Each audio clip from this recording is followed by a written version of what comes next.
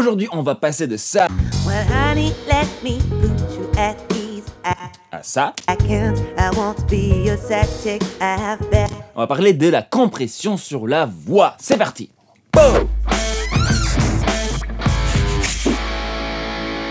Bonjour et bienvenue à l'Académie du Gros Son. Moi c'est André, on est ici dans mon home studio et aujourd'hui on va parler compression et surtout la compression sur la voix. Cette vidéo est pensée comme la suite de notre vidéo sur comment entendre la compression. La vidéo ressemble à ceci, il y a pas mal de gens ici qui l'ont vu. Merci beaucoup, c'est vraiment cool. Et visiblement, ça a pu aider pas mal de gens à un peu mieux comprendre la compression. La compression, c'est vraiment pas évident. C'est quelque chose qui prend des années à juste percevoir. Donc forcément, on va avoir du mal à régler une compression correctement si on n'aperçoit même pas. Donc aujourd'hui, je voulais faire une vidéo un peu euh, particulière, un peu spéciale, voix. C'est quand même l'élément central, l'élément principal de la plupart des morceaux que vous faites. J'imagine que moi je fais, en tout cas ça c'est sûr. Et avec la batterie, peut-être c'est l'élément où la compression joue un rôle énorme et au début c'est difficile de savoir vers où aller et donc du coup faire fausse route et finalement faire plus de mal à votre voix que du bien. Donc aujourd'hui on va parler de tout ça un peu plus en détail. Avant de rentrer dans le vif du sujet, nous avons pas mal de trucs cool pour toi ici sur notre site qui est donc www.academieduroson.com bonus. Là tu t'inscris avec ton petite adresse email euh, à l'endroit qui est prévu pour et tu vas tout de suite recevoir plein de cadeaux gratos, vraiment cool. Notamment pour aller avec cette vidéo une liste de plugins gratuits dans lesquels on a quelques compresseurs que euh, vous pouvez utiliser pour étoffer un peu votre DAW, votre programme de travail de son et compresser des voix. Donc hop, tant qu'on y est, si tu veux savoir encore plus sur comment vraiment enregistrer, produire, mixer les voix, nous avons un cours qui traite spécialement de ça. Il ressemble à ceci, tu peux voir ça sur le site. Il y a une petite présentation qui t'explique un peu de quoi s'agit-il. Allez, c'est parti, on parle maintenant de la compression de voix. On y va. Alors pour commencer, parlons un peu de ce que ça veut dire compresser une voix pourquoi est-ce qu'on le fait? Pourquoi est-ce que c'est un aussi gros thème? Et que toutes les personnes qui travaillent de manière pro bah, parlent toujours voilà, de leur compresseur de voix préféré ou de comment ils ont fait ceci ou cela sur des voix. La plupart du temps sans vraiment rentrer dans le pourquoi du comment. Et donc moi j'ai eu l'impression quand j'apprenais tout ça, comme disait tout le temps, bah voilà, les voix doivent, être contrôlées, compressées, blablabla, bla, bla, mais sans jamais vraiment me dire comment y réfléchir, comment l'écouter. En gros c'est un peu comme si tu ouvrais une recette de cuisine et euh, on te disait voilà, cuisine maintenant tes légumes mais sans te dire quoi que ce soit d'autre sur la question. Voilà, ça va pas t'avancer des masses. Donc, qu'est-ce que ça veut dire donc de compresser une voix? Alors, la plupart des trucs que je vais vous dire sont en fait valables pour, la, pour presque tous les éléments acoustiques enregistrés au micro, mais on va se concentrer évidemment sur la voix avec des exemples de voix. Attention pour la vidéo aujourd'hui, si les termes comme attaque, release, ratio, euh, les types de compresseurs, ça vous dit rien ou pas grand-chose, n'hésitez pas à aller voir d'abord deux autres vidéos, donc celle-ci sur c'est quoi un compresseur, et ici sur comment entendre la compression, parce que je pense que ça va être nettement plus facile de profiter de cette vidéo-ci si vous avez vu les deux autres avant. Tout d'abord, pourquoi est-ce qu'on compresse une voix? Une voix est un élément qui a énormément de dynamique. Entre parler comme ça ou parler comme ça, il y a bien 20 dB de différence de volume, et dans un phrasé musical, on peut très bien avoir ça de syllabe en syllabe et certainement de mot en mot. Regardons tout de suite mon petit exemple devant moi. Le morceau ici, c'est euh, Jasmine Dunby, une très bonne amie et euh, artiste avec qui je travaille régulièrement, qui chante super bien. Voici donc, pour vous montrer, rien que visuellement, une prise de voix. Cette prise de voix devant vous ici, elle était déjà un peu compressée à la prise, donc on a déjà des choses qui sont un tout petit peu plus contrôlées, mais regardez la différence visuel entre une syllabe et une autre syllabe. Hop, on a clairement des énormes bouts avec plein d'énergie et des tout petits trucs euh, avec très peu d'énergie dedans. Ça sonne encore une fois comme ceci. Well, honey, let me put you at ease. I can't, I won't be your side chick. I have ça, c'est compressé, et sans aucune compression en plus de celle que j'avais à la prise. Hop, en solo, ça sonne comme ça. Well, honey, let me put you at ease. I can't, I won't be your set. Rien que c'est cette première phrase. Well, honey, let me put you at. On a vraiment des grosses différences de niveau entre ces différentes syllabes, et ceci est donc valable pour énormément de types de chants et de types de prestations voix, et vous allez avoir une situation similaire chez vous certainement. Qu'est-ce que ça a comme conséquence dans un mix avec de la musique autour, donc dans un contexte, certaines syllabes vont sortir vraiment, on va les entendre clairement, voire même de trop, et certaines syllabes vont disparaître. Écoutons maintenant dans le contexte sans cette compression en plus. Well, honey, let me put you at ease. I can't, I won't be your chick. I have better things to do than satisfy your ego. Ici par exemple, I satisfy, ou alors ici le, le tout petit Let me put you at put you at ease. Un ressort beaucoup, un disparaît un tout petit peu. Et pourtant, c'est un mix qui n'est pas très dense, qui n'est pas plein de distorsions. On est déjà dans une situation facile, entre guillemets, avec une chanteuse qui chante bien, qui contrôle sa dynamique, qui a déjà été un peu compressée à la prise. Donc, même avec tous ces éléments réunis, cette voix reste très dynamique. Il y a des grosses différences. Et on doit trouver un moyen de pallier à ce problème-là. Alors, vous allez me dire, on pourrait très très bien découper ça syllabe par syllabe, rééquilibrer les niveaux dans notre programme et dire bon voilà c'est bon c'est cool. C'est vrai. Plus ou moins en tout cas. Mais vu que ça prendrait énormément de temps et surtout vu que à l'époque on pouvait pas du tout faire ça on a inventé des compresseurs donc des machines qui vont écouter ce qui rentre dedans vont se dire là ça va trop fort je vais baisser un tout petit peu et remonter l'ensemble du, du signal pour bah, faire remonter les choses qui vont pas très fort. Comme une voix est l'élément le plus important le plus central quand je dis le plus important, je veux dire celui que les gens lambda, les gens qui ne sont pas dans votre projet musical, écoutent le plus. Et c'est lui en fait auquel la plupart des gens euh, font réellement attention, tout le reste étant un peu un fond. Ces voix doivent, dans la plupart des styles, dans la plupart des mix, être vraiment présentes, audibles, tout le temps. Et pour sentir vraiment euh, l'énergie et l'émotion de la personne qui chante, il est même assez important, je pense, d'entendre carrément les, petits détails comme euh, l'ouverture de la bouche ou les respirations. C'est des choses auxquelles on est très sensible. On est des humains, donc forcément des voix humaines. C'est un élément qu'on euh, entend et qu'on analyse tout le temps. Donc une voix qui se bat avec euh, l'instrumental, qui se bat avec le reste du mix pour rester un peu au-dessus, sera frustrante, sera juste frustrante à écouter et va donner très vite cet effet un peu karaoké, donc une voix pas contrôlée, une voix pas soignée. Une petite allégorie ici que Gérald utilise, que j'aime beaucoup, c'est l'histoire d'un petit bateau sur des grosses vagues. Imaginez que le mix entier, c'est euh, une, mer avec des grandes vagues. Ça n'arrête pas de bouger, ça n'arrête pas de changer, comme la musique est toujours changeante. Et pour ne pas noyer la voix, on la met dans un petit bateau qui, lui, va rester toujours au-dessus donc de ces vagues. Il va donc bouger avec la musique pour ne jamais être de trop, mais va remonter avec la musique également, ou en tout cas rester bien en focus devant, au-dessus de la musique si on veut, comme un petit bateau sur des vagues.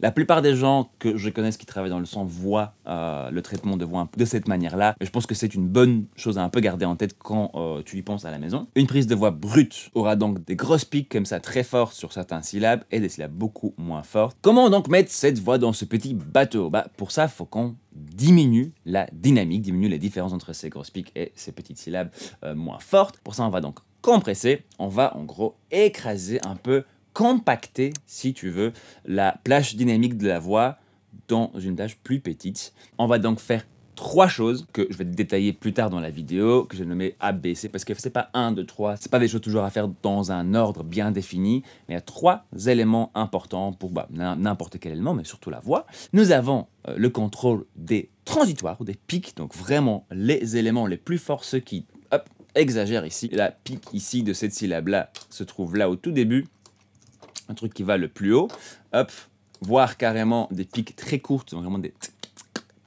genre de truc. Ça, c'est la partie A. Essayez de réduire un tout petit peu ça sans dénaturer le son de la voix. La partie B sera de faire remonter tout le reste du son. Donc, imaginons ces petites syllabes moins fortes ou la suite, par exemple, euh, d'une grosse syllabe comme ici.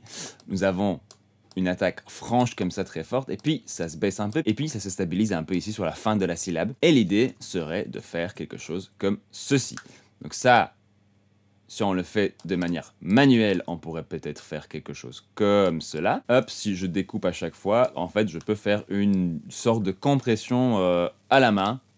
Hop. Et c'est exactement ce qu'un compresseur va faire. Donc, on peut avoir ceci qui est un petit boudin bien contrôlé sur l'ensemble du son, plutôt que ça, donc qui était beaucoup plus fort au début, puis qui s'est recalmé. Et finalement, la partie C, euh, le troisième euh, aspect, c'est le mouvement de l'ensemble de la voix avec l'instrumentation, pour toujours rester comme un petit bateau au-dessus de mes vagues, mais suivre le mouvement des vagues pour rester musical et être toujours agréable à écouter et avoir l'air soigné. Compresser la voix, c'est donc transformer notre petite montagne en un Bouddha. En gros, un truc qui est beaucoup plus euh, droit, beaucoup plus constant tout le temps. Ça, c'est ce qu'on va appeler une compression euh, technique, de contrôle dynamique.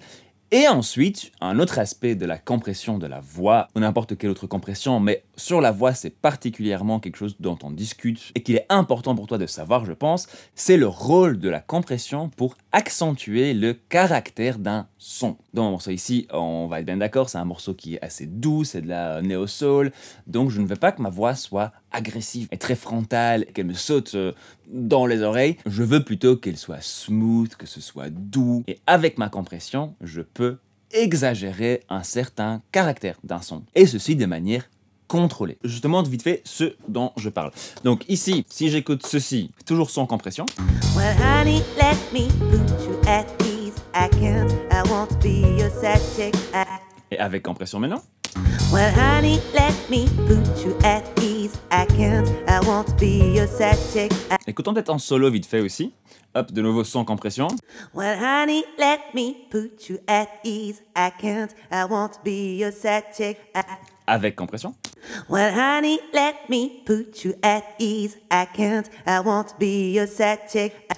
Moi, je trouve que l'ensemble est plus présent, plus contrôlé, mais aussi un peu plus doux. Si maintenant mon artiste me disait non, en fait, ce que je veux, c'est sentir plus d'énergie, plus de d'agressivité, ou que ma voix chatouille un peu plus à l'oreille, vraiment qu'elle donne un max d'énergie, je pourrais prendre ce que j'ai fait ici. Ajouter un autre compresseur. Pour ça, je vais prendre un compresseur ici devant moi, le Hcom de chez Waves. J'ai essayé quelques compresseurs juste pour vous montrer un peu l'exemple d'une compression qui ajoute un peu de euh, agressivité, un peu d'attaque. Et ça pourrait sonner un peu comme ça. Donc je vais vous faire écouter avec et sans. On va commencer sans. Well, honey, let me put you at ease. Avec. Well, honey, let me put you at ease. Pa, pa, pa, pa. Donc on accentue les transitoires. Écoutez encore une fois avec et sans. Well, honey, let me put you at ease. I can't, I won't be your side chick. I have better things to do than satisfy your ego. Yeah, yeah. Ce genre de traitement pour accentuer un élément de caractère de notre voix. Je récapitule vite fait, on va donc vouloir d'un côté compacter notre voix dans une plage dynamique, donc en termes de volume réduite. Ça va s'appeler contrôler la dynamique. Et ici, la plupart du temps, on va chercher des réglages qui font ce travail, mais qui ne dénaturent pas la prestation, le mouvement de voix, parce que nos oreilles sont très sensibles à ça. On entend assez vite qu'une voix sonne pas naturelle, qui est quelque chose qui a été fait qui n'est pas voilà, qui n'est pas comme des humains le feraient. Et d'un autre côté, la plupart du temps, on va vouloir accentuer une ou plusieurs parties du caractère d'un son et ça ça va dépendre énormément de la voix, de la performance du morceau, du contexte, du micro. Tous les éléments d'une prise voix et de son contexte sont importants à prendre en compte quand vous devez choisir quel aspect de caractère de cette voix vous voulez mettre en avant. Ici, il y a un petit truc assez important, je pense. Il n'y a pas de bonne réponse. Il y a juste ton goût, le goût d'autres personnes et l'importance de ne pas faire bouger une voix de manière bizarre. Quel point est-ce qu'une voix doit être compactée dans, sa dynamique va dépendre énormément de ton style. Si par exemple tu fais du folk ou du jazz, tu peux souvent compresser beaucoup moins parce que l'ensemble le contexte n'est pas aussi dense, n'est pas aussi compacté, ne va pas aussi fort tout le temps. Par contre, une voix métal ou une grosse voix trap dans, dans des grosses prods avec plein de subs et plein de trucs tout le temps, ou simplement un morceau pop qui est destiné à la radio ou qui est destiné à une écoute un peu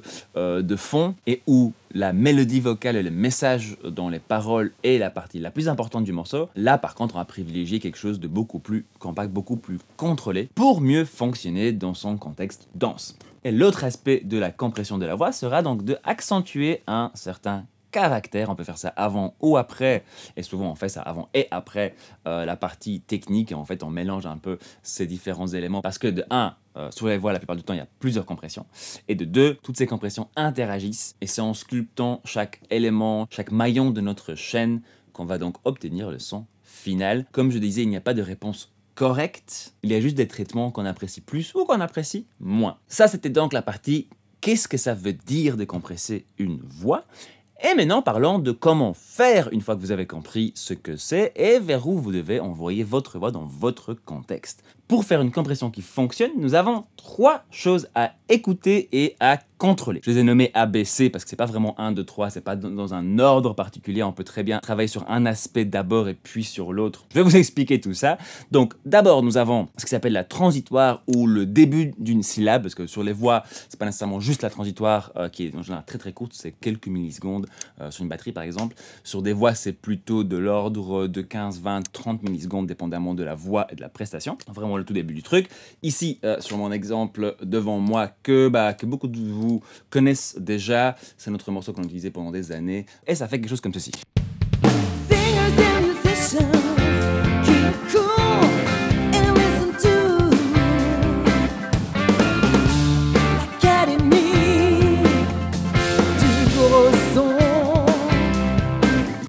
J'ai pris cet exemple-ci parce que ça fait déjà des années que j'enregistre toutes mes voix avec une petite compression à la prise. Je voulais vous montrer une prise sans rien du tout, sans, sans aucune compression à la prise. Et vous pouvez voir ici qu'on a quelques petites pics comme ça, euh, beaucoup plus marquées. Je vais un peu exagérer ça. Voilà, beaucoup plus marquées que le reste. Nous avons ça, ça, ça, ici, là par exemple. Écoutons cette première phrase et identifions qu'est-ce que c'est. Donc, singers, mm, singers, et the end, et puis musicians, le i de musicians, et euh, aussi une petite pique. Musicians.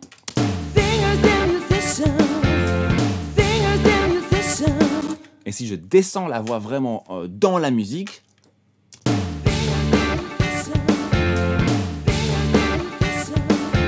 voilà, on entend ces trucs-là qui sautent un tout petit peu et qui ressortent de notre mix. Donc ça, c'est un des premiers aspects dont on peut parler, comment est-ce qu'on peut gérer ça et qu'est-ce qu'on en fait? Alors, pour obtenir une voix qui est très contrôlée, qui est donc un peu ce boudin, euh, ce truc compact, où la plage dynamique est moindre, on va devoir baisser la différence entre ces pics et le reste du son. Mais en faisant cela, on risque aussi de couper de l'énergie, couper de l'aspect immédiat et direct frontal d'une voix. Donc c'est toujours un peu un compromis. Le traitement exact à faire va dépendre entièrement de chaque situation et du but dans le contexte. Deux exemples ici vite fait. Si on a un morceau un peu néo-soul comme tout à l'heure avec Jasmine qui est très rythmique mais qui doit sonner doux, bah on va plutôt privilégier d'enlever un peu ces pics comme ça pour la faire rentrer peut-être un tout petit peu plus dans la musique avec le reste des instruments bien contrôlés pour rendre un truc un peu plus doux. Par contre, si on a un mix qui est très dense mais très agressif, un gros truc de rock avec plein de guitares euh, distordues, un peu comme ici, bon là c'est pas très très gros mais on a quand même beaucoup de densité déjà. Là on peut pas les enlever complètement parce qu'on a besoin de, de cet aspect un peu agressif, un peu rock. Et donc on va devoir faire un peu un compromis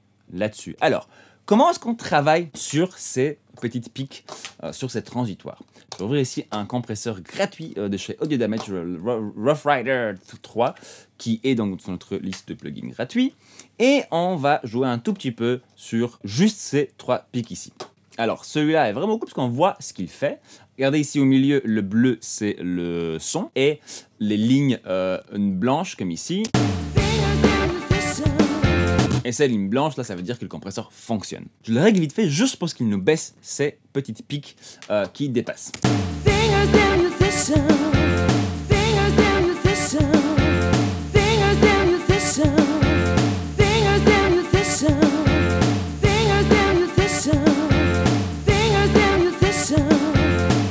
Voilà. Là, je vois qu'il s'active que sur ces trois pics. Mon release est très très court, donc on, on remonte tout de suite. Mon attaque est très très très courte, elle est à 0 millisecondes, la plus rapide possible pour vraiment baisser ces trucs de, euh, beaucoup. Un ratio très très haut, je, je l'ai monté à 42 sur 1 pour vraiment baisser ces pics au même niveau en fait que le reste de ma voix. Et puis j'ai remonté un peu le niveau général pour que le niveau perçu soit le même. Ça a des conséquences importantes dont je vais vous parler dans deux secondes. Écoutons ici Hop, c'est une petite sélection. Euh, avec et sans. Donc, on va commencer sans.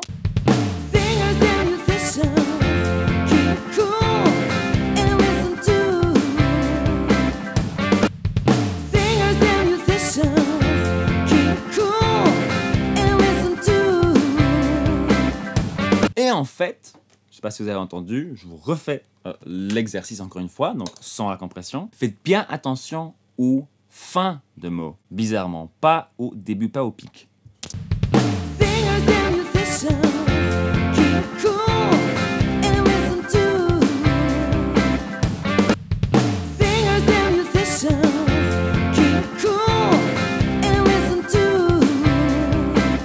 Je sais pas si euh, tu l'as bien entendu, mais moi, ce que j'entends ici, c'est que j'entends en fait mieux tous les détails de la voix sans qu'elle change vraiment de place autre part.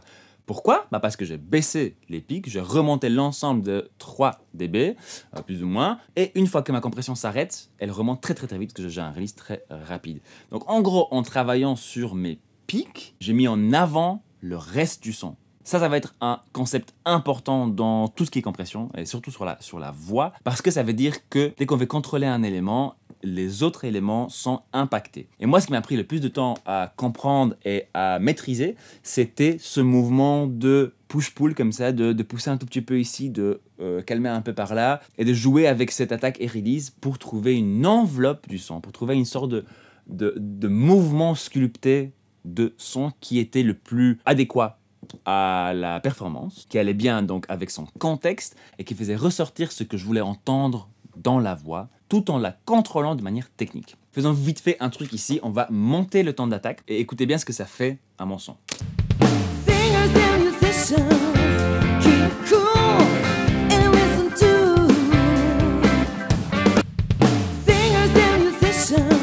Là, on compresse plus du tout parce que mon threshold, qui ici s'appelle sensitivity, était en fait juste au niveau de ses pics. Donc je vais devoir descendre un peu le threshold pour qu'on compresse quand même.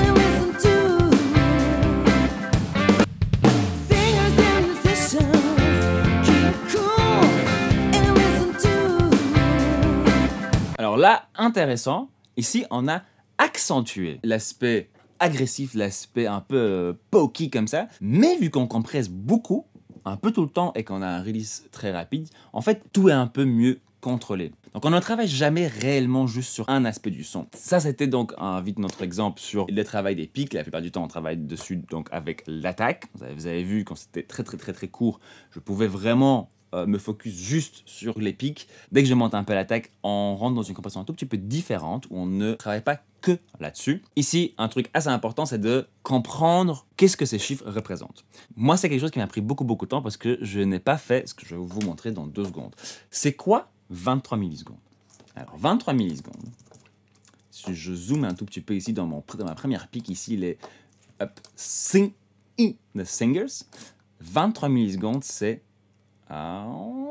ceci. Voilà, ici j'ai en fait je suis en, temps, donc en minutes secondes et millisecondes, donc 0,23, bah, 23 millisecondes forcément. C'est vraiment très court, mais ces bouts de syllabes qui ressortent sont aussi très très très très courtes. Ici par exemple, le head-end ne dure que 24 millisecondes. Donc, avec une attaque de 23 millisecondes, en fait, on ne compresse pas du tout cette pique on la laisse complètement passer. Il va presque pas le compresser, il va le compresser juste après. Ce qui va créer un mouvement, va sculpter le mouvement de mon son d'une manière assez particulière qui va mettre en avant cette attaque. Le ratio est aussi fort important euh, sur comment est-ce que les transitoires, ces, ces petits bouts, vont réagir à ma compression. Parce que sur des ratios fort petits comme 2, 3, 4 sur 1, même avec une attaque très très très très courte, on va peut-être pas baisser la pique suffisamment pour vraiment la réduire au même niveau que le reste de la syllabe. On va la baisser, mais juste peut-être un peu, avec un ratio très très très élevé. On va la baisser de beaucoup et donc tasser un peu l'ensemble. Par contre, avec un ratio aussi haut, si notre réglage de threshold n'est pas exactement le bon, ou alors si la performance de la voix est fort dynamique entre des parties toutes calmes, parties fortes, on risque d'avoir des mouvements très bizarres et des compressions très très très fortes. Euh, là, on n'a peut-être pas nécessairement besoin où on vit.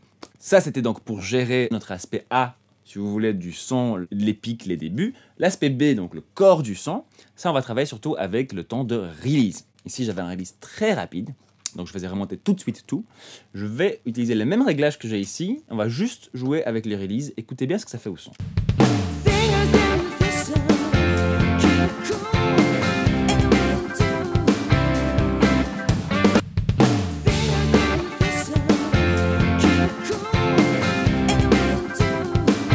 Là, on a perdu la voix complètement, elle disparaît, on n'entend plus du tout, à part le « et » de Endless and 2 qui ressort fort parce que c'est que à ce moment-là que le compresseur a vraiment le temps de remonter complètement. Ici, cette euh, pause entre les deux mots est de 400 millisecondes à peu près, qui équivaut plus ou moins à notre release.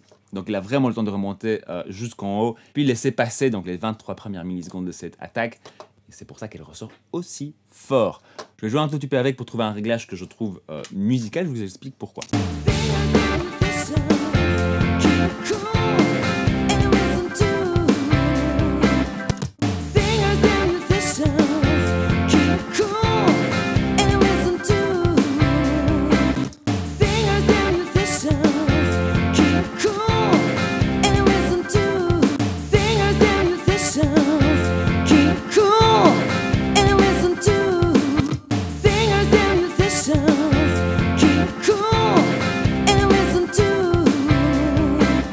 Ici j'ai commencé à trouver un mouvement donc de la fin de mon son de voix qui je trouve permet de bien entendre chaque mot et à faire ressortir des détails qui m'intéressent sans la faire sonner un peu bizarre. Ces deux éléments, le A et le B, donc les débuts et la fin de chaque syllabe, de chaque euh, petit bout de notre voix, comme vous avez vu, c'est des éléments qui travaillent ensemble. C'est toujours une histoire d'un peu de pousser d'un côté, de récupérer un peu de l'autre et d'essayer de trouver un mouvement, une enveloppe sonore un mouvement de son qui permet de, un côté, bah, de gérer et contrôler la dynamique du signal de manière transparente. Ça, c'est un aspect, comme, comme on disait, de la compression. Et de l'autre côté, qui permet d'avoir un mouvement qui est en accord avec euh, la volonté artistique du morceau, soit quelque chose qui rend l'ensemble de ma prestation vocale plus douce ou plus agressive, euh, ou carrément très très jumpy et presque dérangeante, ou carrément, dans l'autre sens, vraiment toute douce, très polie, très gentille dans un contexte qui en a besoin. Et finalement, le dernier aspect qui est euh, la compression sur un temps un tout petit peu plus long, donc sur un, sur, un phrasé complet, notamment ici sur cette, euh, ce, premier bout. Et pour ça, on va utiliser un compresseur un tout petit peu différent. Je vais vite refaire cette compression-ci pour quelque chose d'un tout petit peu moins euh, drastique, parce que là, le, le, ratio de 42 est un tout petit peu violent. Donc, je fais vite ça et on passe à la suite.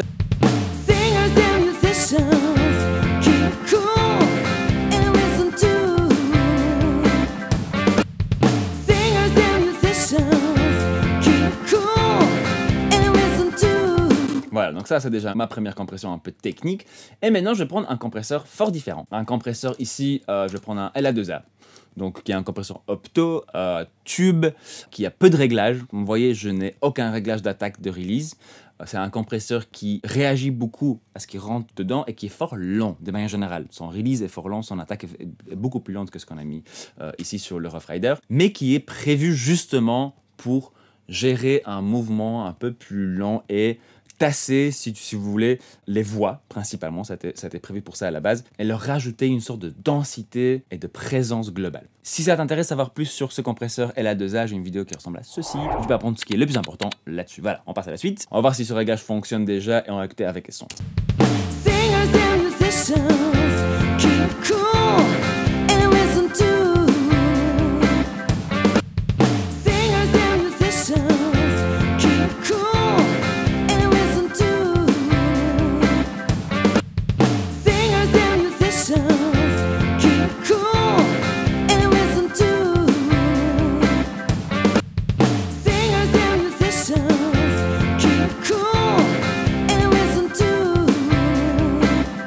Quand je mets la compression, il se passe un truc assez intéressant. Je trouve que la voix a l'air d'aller un point moins fort, mais en même temps, elle est plus facile à percevoir tout le temps.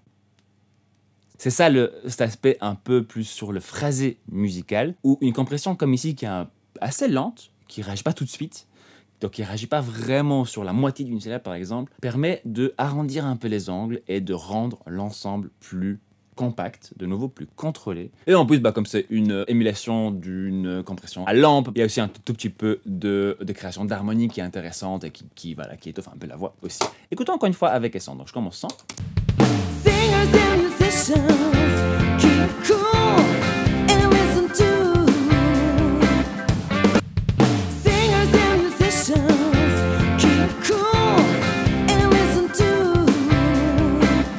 Voilà, donc ici nous avons contrôler avec un compresseur un mouvement, on a sculpté le mouvement de notre voix pour contrôler sa dynamique et en même temps travailler un peu son euh, caractère. Et ensuite, nous avons utilisé un autre compresseur pour arrondir un peu les angles et ajouter un autre niveau de finition. Et c'est très souvent comme ça qu'on approche la compression sur la voix. Dans une compression de voix, ce qui est le plus important pour moi à réussir, c'est cet aspect de enveloppe, de vraiment comprendre comment chaque élément qu'on va toucher va impacter le mouvement du son. Attention parce que c'est des mouvements qui sont très rapides.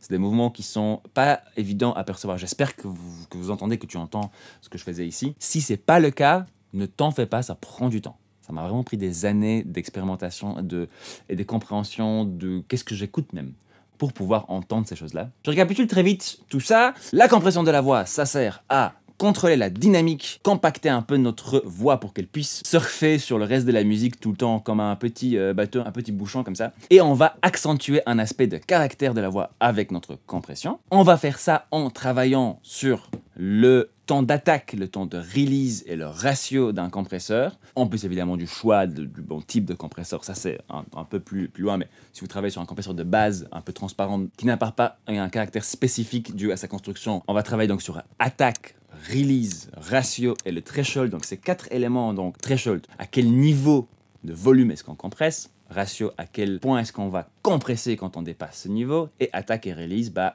permettent de sculpter le mouvement dans le temps de ça. Ces quatre éléments permettent donc de sculpter l'enveloppe sonore. Il n'y a pas vraiment de bonne ou de mauvaise façon de le faire tant qu'on ne fait pas des choses qui ont l'air bizarres où on ne perçoit plus ce, que, ce qui est dit, ou alors qu'on a l'impression que quelqu'un nous parle à travers quelque chose et qu'on perd en intelligibilité. Là, ça pose souvent plus de problèmes. La façon dont on va sculpter notre voix va dépendre entièrement de notre performance, notre voix, de notre contexte. Et avant de faire quoi que ce soit, je te conseille de noter tes intentions et tes volontés, et ensuite, quand tu as fait ta compression, comparer est-ce que tu es arrivé à tes intentions, ou est-ce que tu t'es perdu en route et que ça ne fait pas ce que tu voulais faire à la base. Pour faire cela, on peut travailler sur le tout début du son, sur le corps du son et sur le mouvement un peu plus long sur un phrasé. Pour le début du son, c'est l'attaque et le ratio surtout qui vont avoir un impact sur à quel point est-ce que ces pics vont ressortir ou vont être calmés. Le reste du son, là c'est le temps de release qui va surtout euh, définir à quel point est-ce que la voix revient vite et donc est plus dense, plus agressive, plus présente,